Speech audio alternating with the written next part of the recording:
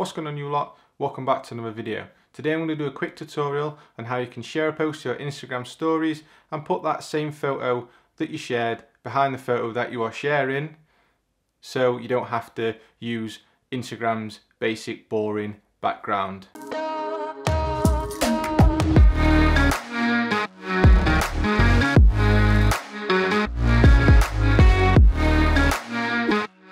That didn't make a lot of sense, we're going to jump straight into the screen recording so you know exactly what I mean. Open up your Instagram app on your phone, choose whichever photo you want to share to your story, hit the little paper airplane looking thing, add to your story and place it in the bottom corner of your choosing, don't really matter. It'll all become apparent in a minute. If you've got this little widget, it'll be a hell of a lot easier to do this. If not, all you've got to do is go back into your photos, copy the photo and then paste it on top. So once you've done that, place that roughly in the middle or wherever you want it, smaller than the actual page. Then put the shared post back on top and at this point save the image.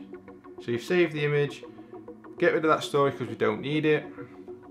Go back, add the post back, your story, then same again, use a little widget or copy and paste that saved photo on top of the photo that you've just shared.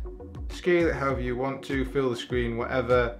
At this point then you can start typing, add things on if you want.